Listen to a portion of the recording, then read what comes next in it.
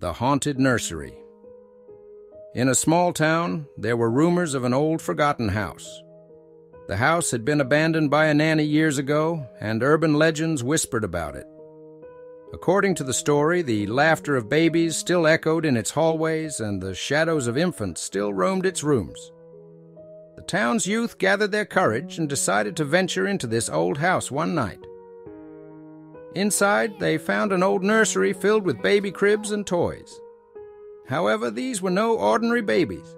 Their eyes were black, their faces pallid, and they seemed half rotten.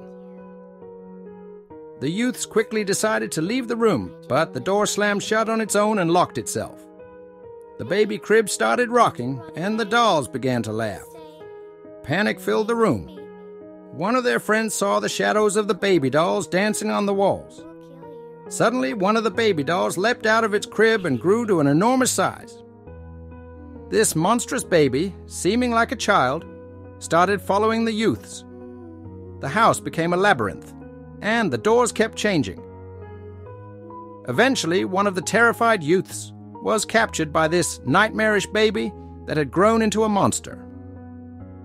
The others managed to escape the house, but they lost their friend. Since that day, the townspeople believe the house is still cursed. The laughter of babies can still be heard in the distance, and some claim to have seen the ghost of the old nanny.